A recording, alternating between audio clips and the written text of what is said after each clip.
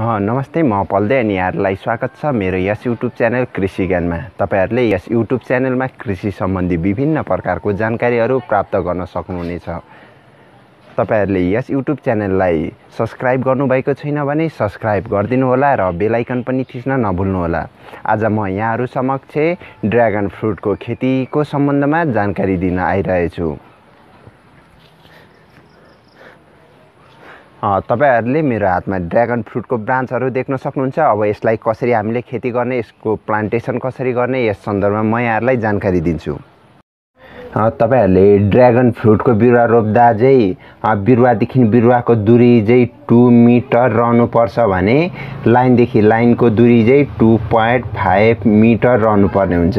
यसरी हामीले दुई मिटर बिरुवादेखि बिरुवाको दुरी चाहिँ दुई मिटरमा चाहिँ हामीले बिरुवादेखि बिरुवाको दुरी राख्छौँ भने त्यति राख्नको लागि चाहिँ हामीले पिल्लरको ग्याप चाहिँ जम्मा टु पोइन्ट फाइभ मिटरको डिस्टेन्स आएर पिल्लर चाहिँ गाड्नुपर्ने हुन्छ भने हामीले लाइनदेखि लाइनको दुरी टु पोइन्ट फाइभ मिटर चाहिँ राख्नुपर्ने हुन्छ र two point five metre distance कायम गर्नको लागि हामीले चाहिँ लाइनदेखि लाइनको दुरी राख्ने बेलामा चाहिँ हामीले पिल्लर चाहिँ थ्री मिटरको ग्यापमा चाहिँ हामीले पिल्लर गाड्नुपर्ने हुन्छ। तपाईँहरूलाई कसरी यो चाहिँ हुन गयो? म यो पनि बताइदिन्छु।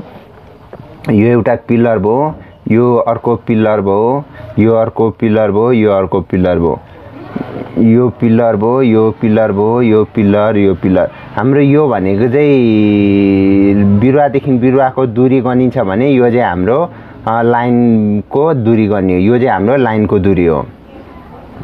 हामी बिरुवादेखि बिरुवाको दुरी लगाउने बेला हामीले पिल्लरको ग्याप चाहिँ टु पोइन्ट फाइभ मिटर राख्नुपर्छ भने हामीले यो लाइनको लाइनको दुरी मेन्टेन गर्नलाई चाहिँ थ्री मिटरमा चाहिँ हामीले पिलर गाड्नुपर्ने हुन्छ। यो चाहिँ हामीले थ्री मिटरमा पिलर गाड्यौँ। अब बिरुवादेखि बिरुवाको दुरी चाहिँ अब यो चाहिँ लाइन बाई लाइन मेन्टेन गर्दाखेरि टु पोइन्ट फाइभ रहन जान्छ भने यतातिर चाहिँ टु मिटर मात्रै रहन जान्छ। यतातिर यता कसरी टु मिटर रहन बिरुवा हाम्रो पिलरको चारैपट्टि लाउने गर्छौँ। चारैपट्टि लाउने गर्छौँ। यहाँ हेर्नु चारैपट्टि लायो। अब यसरी यो बिरुवादेखि बिरुवाको दूरी चाहिँ हाम्रो यसो गर्दा दुई मिटर मात्रै रहन जान्छ। दुई मिटर मात्रै रहन जान्छ। र यतापट्टिको यो जुन यो लाइन बाई लाइनको दुरीमा चाहिँ जुन छ लाइन बाई लाइनको ग्याप चाहिँ छ यो चाहिँ हाम्रो बिरुवाको कारणले गर्दा यसमा हामीले पिल्लरमा चाहिँ तिन मिटर आएको थियौँ भने बिरुवादेखि बिरुवाको दुरी चाहिँ यसमा चाहिँ टु पोइन्ट फाइभ मिटर हुन गयो। यसरी चाहिँ हाम्रो पिल्लर चाहिँ अलिक लामो राख्नुपर्ने हुन्छ। यसरी चाहिँ व्यावसायिक रूपमा खेती गर्दा चाहिँ यसरी चाहिँ लेआउट गर्नुपर्ने हुन्छ। तपाईँहरूले पिल्लर गाड्नु हुँदा चाहिँ तपाईँले पिल्लरको बिरुवादेखि बिरुवा रोप्ने दुरीपट्टि चाहिँ तपाईँले अढाई मिटरको ग्यापमा पिल्लर राख्नुहोला। र तपाईँहरूले लाइन बाई लाइनको दुरीमा चाहिँ तपाईँहरूले पिल्लर गाड्दा चाहिँ तिन मिटरको ग्याप राखेर तपाईँले गर्नुहोला। यसरी नि तपाईँले गर्न सक्नुहुन्छ। अब पिल्लर कस्तो खालको बनाउने? पिल्लर चाहिँ तपाईँहरूले कस्तो बनाउनु पर्छ भने तपाईँहरूले यो पिल्लर भयो यो पिल्लर भयो यो पिल्लर भयो। यो हाम्रो जमिनको भागमा दसायो यो जमिन भयो यो जमिन भयो यो पिलर भयो। पिलर। अब तपाईँले यहाँ चाहिँ टायर टायर लाउन सक्नुहुन्छ यहाँ गोलो गरेर टायर लाउने अब यस टायरलाई अड्काउने रडहरू फलामहरू केही यस्तो चारपाटे बनाएर अड्काउनु होला तपाईँले पिलरको टुप्पामा चाहिँ यो टायर राख्नु होला सबैभन्दा राम्रो। अब तपाईँहरूले यहाँ चारवटा बिरुवा रोप्नु भएको हुन्छ चारवटा बिरुवा। यो चारवटा बिरुवा चाहिँ बढेर गएर हेर्नुहोस् बढेर गएर यहाँदेखि छिरेर यस्तो बाहिर आउँछ। यहाँदेखि गएर कुनै बिरुवा यस्तो आउँछ यहाँदेखि बाहिर आउँछ यहाँदेखि पनि बाहिर आउँछ। तपाईँले यहाँ चाहिँ यो झुलाको काम गर्छ यो टायरले यसरी चाहिँ तपाईँहरूले व्यावसायिक रूपमा खेती गर्दा चाहिँ यसरी स्ट्रक्चर बनाउनु पर्ने हुन्छ। यसरी बनाउँदा यसरी हाँगाहरू आउँछ यो। यसलाई वार्षिक रूपमा चाहिँ नराम्रो हाँगाहरू बेसी हाँगाहरू काट्नुपर्ने हुन्छ।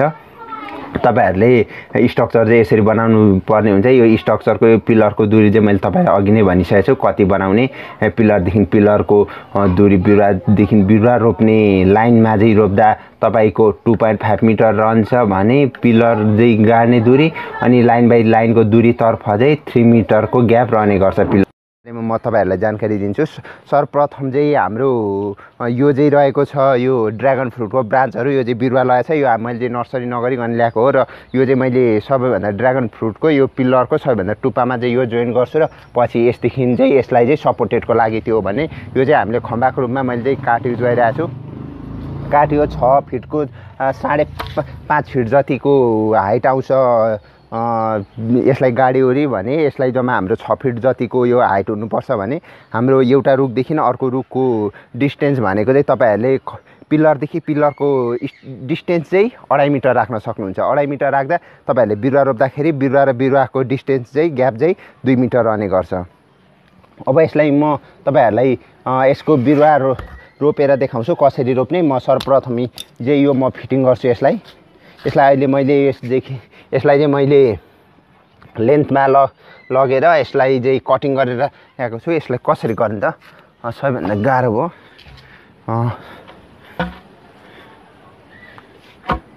अ, यसरी नै गर्छु।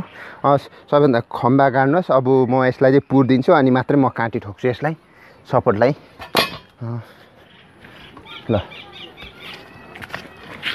हेर्नुहोस् मैले अघि लगभग दुई अढाई फिट जति चाहिँ खाल्टो खनेको थिएँ। सु- यो रेकर्ड गर्नुभन्दा अगाडि अब म यसलाई पुर्छु। ड्रागन फ्रुट चाहिँ मैले नर्सरी नगरिकन डाइरेक्ट रोप्न गइरहेको छु। जसरी रोप्दा पनि हुन्छ नर्सरी गरेर रोप्नु भए पनि हुन्छ। तर रोप्ने तरिका यही हो। बिरुवादेखि बिरुवाको ग्याप भनेको दुई मिटर रहन्छ भने यो पिल्लरदेखि पिल्लरको दुरी भने चाहिँ अढाई मिटर रहने गर्छ। अब म चाहिँ यसलाई चाहिँ त्यो चाहिँ मैले सबै खम्बा गाडिसकेँ। अब म यसलाई चाहिँ फिक्स गर्छु त्यहाँ। कसरी? यसलाई अलिक अप्ठ्यारो भयो पहिला नै गरेर गाडेको भए हुन्थ्यो म चाहिँ यसलाई कहाँ चढेर गरौँ?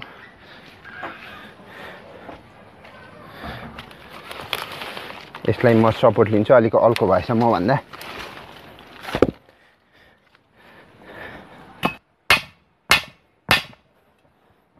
उम्, भयो अब तपाईँले देख्न सक्नुहुन्छ।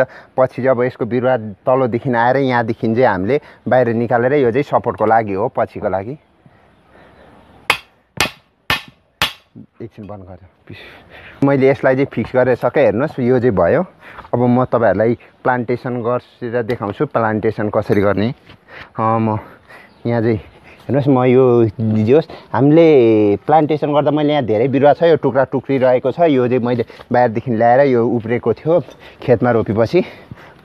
अब यसलाई चाहिँ हामीले कसरी प्लान्टेसन गर्ने भन्दा हामीले एक एउटा पिल्लर बराबर चारवटा बिरुवा चाहिँ रोप्न सक्छौँ हामीले चारवटा रोप्नुपर्ने हुन्छ। म तपाईँहरूलाई हेर्नुहोस् देख्न सक्नुहुन्छ यो बिरुवा। यो बिरुवाले तपाईँले केही गर्नु पर्दैन। सिर्फ पुवाल पार्नुहोस् ल।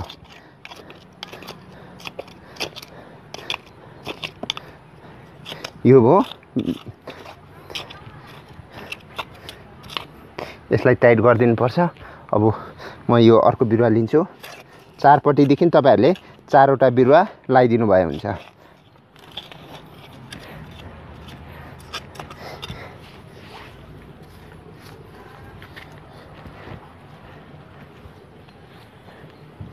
मैले दुईवटा रोपेँ। अब म एउटा यहाँ एउटा यहाँ रोप्छु जम्मा तपाईँहरूले एउटा पिल्लर बराबर चारवटा बिरुवा रोप्नुपर्ने हुन्छ। तपाईँहरूले लगभग बिरुवा रोप्नको लागि या आठ नौ इन्ची जतिको ब्रान्चहरू टुक्रा बनाएर रोप्नु हुँदा पनि बेस्ट हुन्छ। त्यहाँभन्दा धेरै लामो पनि चाहिँदैन। लामो रोप्नुहुन्छ भने तपाईँको इच्छा। यी आठ नौ इन्चीको ल्याएर माटोमा तिन चार इन्ची जति गाड्दा पनि हुन्छ। बा माथि मैले यति गाडेको छु लगभग दुई तिन इन्ची जति। अब यहाँ यतादेखि यस्तोदेखि चाहिँ तपाईँको पछि ब्रान्च आउने हुन्छ यो जुन काँडाको भाग छ त्यहाँदेखि चाहिँ सबै धेरै ब्रान्च आउँछ। चौथो बिरुवा रोप्न गइरहेछौँ यहाँ हेर्नुहोस्। जम्मा हामीले एउटा पिल्लरबाट चारवटा बिरुवा रोप्न पर्ने हुन्छ। तपाईँहरूले चाहिँ यसरी नै एउटा पिल्लर बराबर एउटा पिल्लरमा चारवटा यसरी बिरुवा रोप्ने हो। र अब म तपाईँहरूलाई अरू पनि जानकारी दिन्छु। पानी जमिनु भएन। पानी जम्यो भने बिरुवा चाहिँ कुहिने हुन्छ। तर सुक्खा चाहिँ धेरै सहन सक्छ यसले। तर समय समयमा अलिअलि पानी त दिनुपर्ने हुन्छ। सबै बिरुवालाई पानी अब तपाईँहरूले यसरी प्लान्टेसन गर्नुहुन्छ अब पछि यो यसरी नै ब्रान्च आउने हुन्छ यसरी नै हाँगा आउने हुन्छ टुप्पादेखि। यसलाई चाहिँ हामीले अब यहाँदेखि एउटा हाँगा लिएर यो यसको यसको यसको यसको चारैवटा चाहिँ जुन माथि बढिरहेको हुन्छ त्यसकोमा धेरैवटा ब्रान्च आउँछ तर सबैभन्दा बेस्ट एउटा ब्रान्चलाई चाहिँ हामीले छानेर चाहिँ यसमा बाँध्दै बाँध्दै माथिसम्म पुऱ्याउन सक्छौँ र माथिदेखि पछि हाम्रो चारैवटा ब्रान्च यहाँसम्म आउँछ।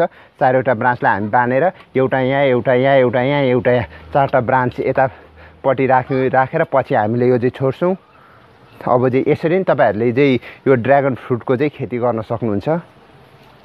यसरी नै तपाईँहरूले ड्र्यागन फ्रुटको खेती गर्नुहुन्छ त्यो कसो भने त्यो चारवटाको हाँगा चाहिँ बढ्दै बढ्दै चारवटाको एक स्टेपमा यहाँ आउला अर्को स्टेपमा स्टेप बाई स्टेप लगभग त्यसको एउटा ब्रान्च आउँदै आँख्ला आँख्ला गर्दै त्यो सबै आँख्लामा एउटा एउटा मात्रै ल्याएर जम्मा चारवटा मात्रै माथिसम्म ल्याउने अनि त्यसपछि यहाँदेखि छोडिदिने अनि यहाँदेखि सबै झुन्डिने गर्छ। तर मैले यो चाहिँ म चाहिँ नर्सरीको लागि पछि बिरुवा चाहिँ धेरै उत्पादन होस् भन्नको लागि चाहिँ म यसमा चाहिँ चारवटाभन्दा पनि बेसी चाहिँ बिरुवा रोपिरहेको छु। तपाईँहरूले चाहिँ चारवटा मात्रै रोप्नु होला। तपाईँले व्यावसायिक रूपमा खेती गर्ने बेला